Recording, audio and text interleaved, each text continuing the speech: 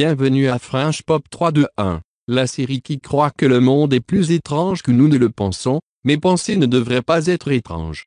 Le judaïsme et le christianisme considèrent tous les deux que l'Ancien Testament, les trois premiers quarts de la Bible, est une révélation divine de Dieu, du Dieu unique qui a tout créé. Les deux religions sont connues pour leur engagement envers le monothéisme, la croyance en un seul Dieu.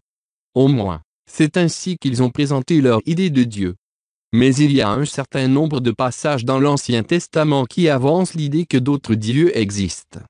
En conséquence, les anciens Israélites ont été considérés comme des polythéistes par de nombreux spécialistes critiques du courant dominant. Le monothéisme, disent-ils, a évolué au cours de l'histoire d'Israël, pendant et après une période appelée l'exil. Si tel est le cas, alors la plupart des auteurs de l'Ancien Testament, de la Bible hébraïque, seraient donc des polythéistes. Est-ce correct? Eh bien, jetons-y un coup d'œil. Le sujet de discussion pour aujourd'hui n'est pas vraiment de savoir si les anciens Israélites, en tant que population, étaient des polythéistes. Mais plutôt, si les auteurs des livres de l'Ancien Testament étaient des polythéistes.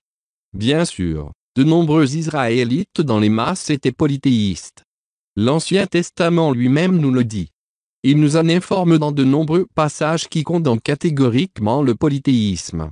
Je pense à Nombreux 22.5, un Samuel 8.8, Jérémie 16, et à une foule d'autres passages. La question nécessite donc plus de précision, des nuances plus précises au départ. Eh bien, les condamnations de l'Ancien Testament à propos d'autres dieux concernent le culte de ces dieux. C'est cela que les écrivains bibliques condamnent. Alors, peut-être, Lorsque nous disons que les écrivains bibliques croyaient en Dieu, en un Dieu, ce dont ils parlent vraiment, c'est qu'ils n'adoreraient qu'un seul. Gardons cela dans notre esprit pendant un moment. Les auteurs de l'Ancien Testament pourraient-ils admettre l'existence d'autres dieux, tout en interdisant leur culte? Si tel est le cas, alors la croyance en la réalité spirituelle d'autres dieux, serait-elle réellement synonyme de polythéisme? Après tout, si vous êtes réellement polythéiste, il serait logique que vous soyez prêt à adorer d'autres dieux. L'autre question est la suivante. Les auteurs de l'Ancien Testament considéraient-ils une certaine divinité comme unique? En d'autres termes, dans le panthéon de ces autres Elohim, ces autres dieux du texte biblique, y en avait-il un qui se distinguait sur le plan ontologique, étant unique dans ses attributs? Mais si vous vous en rendez compte ou non, si vous adorez d'autres dieux ou si vous considérez l'un d'eux comme ayant ou non une identité unique. Cela a de l'importance quand on parle du polythéisme. Ces idées, ces éléments, ces nuances sont en réalité essentielles pour notre sujet. De nombreux passages de l'Ancien Testament décrivaient le Dieu de la Bible comme citation le Dieu de tous les dieux. Fin de la citation. Je pense à Deutéronome 10, 17, Psaume 135, 5 et 136, 2. Il contient également des phrases telles que L'Éternel est un grand roi au-dessus de tous les dieux. Psaume 95, 3. Alors, on dit que le Dieu de la Bible a vaincu ces autres dieux, au moins certains d'entre eux, lors des événements célèbres de l'Ancien Testament, tels, par exemple, la Pâque et la traversée de la mer Rouge Exode 12, 12, Nombre 33, 4. Voici donc la question. S'il n'y a pas d'autre Dieu dans la réalité, ces déclarations sont fondamentalement dénuées de sens. Elles s'apparentent à dire que le Dieu de la Bible est plus grand que des personnages fictifs. Que ce que n'importe qui vit aujourd'hui pourrait prétendre. Ou bien, on imagine une victoire sur un adversaire qui ne s'est point présenté au combat. Encore une fois, les déclarations n'auraient aucun sens. De plus, on dit que le Dieu de la Bible est le maître des autres dieux, tenant leur destin et leur existence même en son pouvoir. Le texte classique en est le psaume 82. Dans le psaume 82.1, nous voyons une réunion céleste de Dieu Elohim, présidée par le Dieu Elohim de la Bible. Le premier verset dit Dieu a pris sa place dans le conseil divin. Au milieu des dieux, il juge. Alors, une des observations clés du psaume 82.1 est le fait que Dieu majuscule D-I-E-U est, comme je l'ai déjà suggéré, le mot hébreu Elohim. Mais plus tard dans le verset, le pluriel, Dieu, est aussi le mot Elohim. Vous avez deux fois le mot Elohim dans le même verset. La première fois, il s'agit clairement de la majuscule DIEU, et la deuxième fois, il s'agit d'un pluriel, car il est précédé de au milieu de au milieu des dieux. Alors, quand nous avançons au verset 6, nous reverrons la même expression. Dans ce psaume, celui qui parle, c'est le Dieu du verset 1 qui préside cette réunion, disant aux autres Elohim dit vous êtes des dieux. Voici encore une fois notre mot Elohim fils au pluriel du Très-Haut, ou tout. Le Très-Haut, pour un psalmiste, serait bien sûr le Dieu d'Israël. C'est Dieu, le Dieu de la Bible. Et ainsi, ce sont des fils de Dieu qui s'appellent Elohim. Nous voyons ces fils de Dieu dans d'autres passages tels Job 1 6 et de 1. Nous savons que ce ne sont ni des hommes ni des idoles, car nous voyons ces fils de Dieu dans un conseil céleste réunis dans d'autres passages tels Psaume 89 5 à 7 où nous lisons. Qui, dans le ciel, peut se comparer à l'Éternel? Qui est semblable à toi parmi les fils de Dieu? Ces versets, ces passages sont importants. Même ce petit aperçu montre que, pour les écrivains de l'Ancien Testament, il y avait d'autres Elohim, d'autres dieux. Mais cela signifie-il que les auteurs de ces passages étaient des polythéistes? Qu'en est-il du culte Et de la question de l'unicité? Le psalmiste aurait-il adoré ces autres Elohim? Aurait-il vu cet Elohim particulier comme étant ontologiquement, qualitativement unique? Ce sont les questions qui importent vraiment pour cette discussion. Alors, la question dont nous sommes saisis, Croire que d'autres dieux existent signifie-t-il polythéisme? Alors, pour les gens modernes comme nous, il peut sembler que oui. Mais nous devons nous rappeler que le monothéisme est un terme moderne. Il n'a été inventé qu'au XVIIe siècle. Nous avons donc une sous-question. Pouvons-nous utiliser un terme moderne pour décrire une vision du monde ancienne? Ou est-ce une sorte de décalage? Eh bien, alors que les écrivains de l'Ancien Testament croyaient que d'autres dieux existaient, et ne les reconnaissaient pas comme des entités méritant un culte. En ce qui concerne leur comportement, je parle toujours des écrivains, ils n'étaient nullement des polythéistes pratiquants. Ils n'avaient pas le temps pour d'autres dieux. Alors, illustrons pourquoi c'est important, pourquoi le vocabulaire est important, à propos de ce genre de déséquilibre, à partir du monde moderne. Posons-nous cette question. Quelqu'un qui croit en un monde spirituel est-il un spirit? Posons-en une qui est encore meilleure si vous croyez en Satan, êtes-vous un sataniste? Bien sûr que non. Ces sortes de considérations sur le vocabulaire, encore une fois, si nous pouvons utiliser un terme moderne pour décrire une vision du monde ancienne, nous aide à voir que la croyance en un autre Elohim, en d'autres dieux, ne signifie pas nécessairement du tout qu'on soit un polythéiste.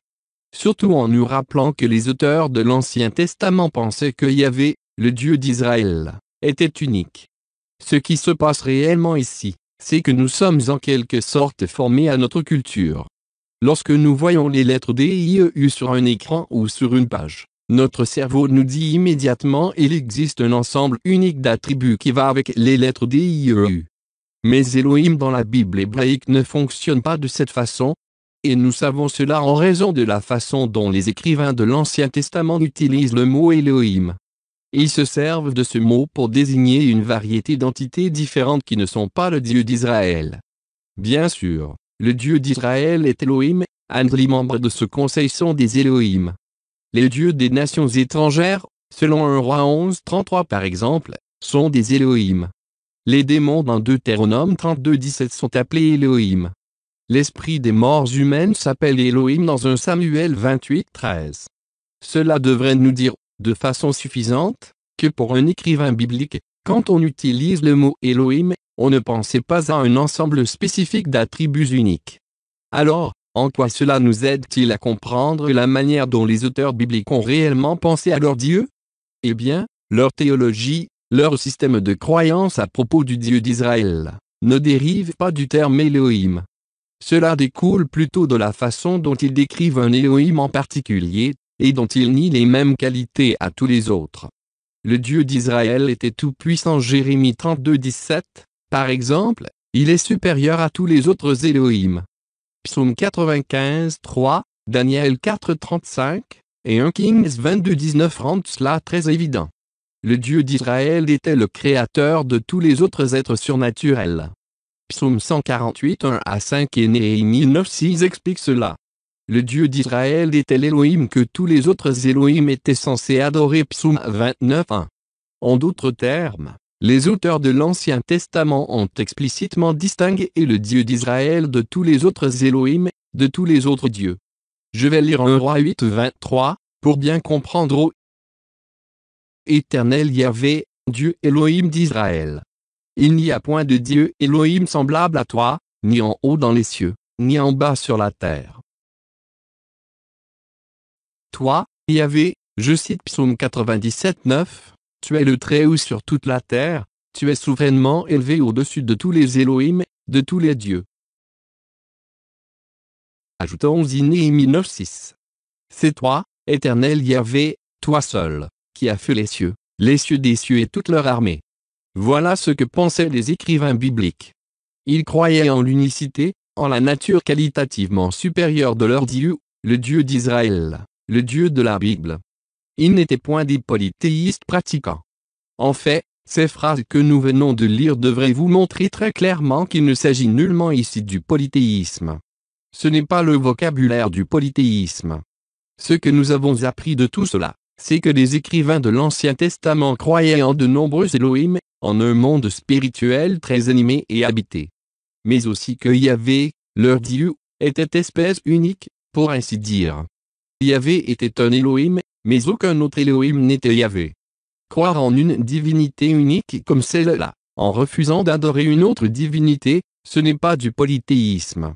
Eh bien, qu'en est-il de l'énothéisme Alors, c'est là un terme qui veut dire dites donc, vous pouvez croire en d'autres dieux, mais vous croyez surtout en un Dieu suprême. L'énothéisme implique certaines hypothèses sur les dieux que les écrivains de l'Ancien Testament n'accepteraient pas. En apparence, la définition de l'énothéisme semble correspondre à ce que pensaient les auteurs bibliques. Mais encore une fois, il y a d'autres idées qui appartiennent à l'énothéisme qu'ils auraient rejetées. Par exemple, l'énothéisme n'aborde pas le caractère de l'espèce unique. Il ne fait aucune déclaration selon laquelle un Elohim est ontologiquement, qualitativement unique.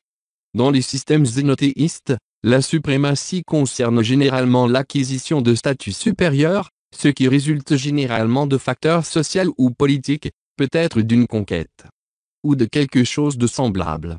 Un énothéiste croirait que la divinité qui arrive au sommet, qui atteint le rang supérieur, pourrait être déplacé par la suite. Cette divinité pourrait perdre cette position. Gagner le statut ne nécessite pas l'unicité, et donc l'énothéisme, je le répète, ne se préoccupe pas de cela. Les écrivains de l'Ancien Testament, cependant, refusent fermement ces idées. Ils croient au caractère unique de Yahvé, et ils ne croient pas qu'il pourrait jamais être déplacé ou remplacé.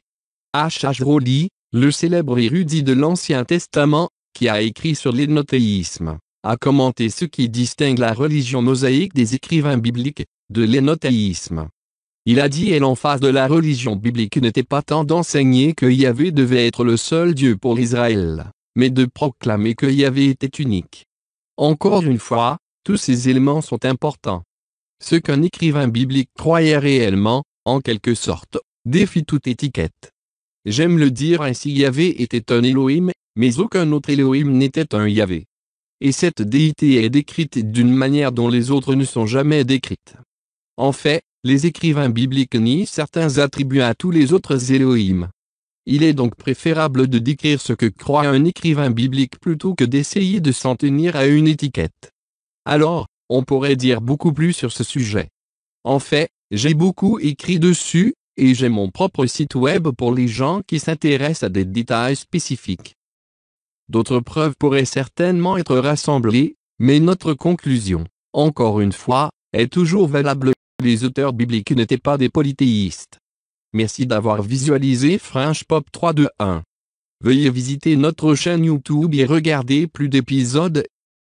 Et visiter notre site web pour obtenir le matériel d'accompagnement de chaque épisode. Si vous souhaitez soutenir ce que nous faisons chez French Pop, alors veuillez visiter notre page Patreon. Et rappelez-vous bien ce que vous savez peut ne pas être vrai.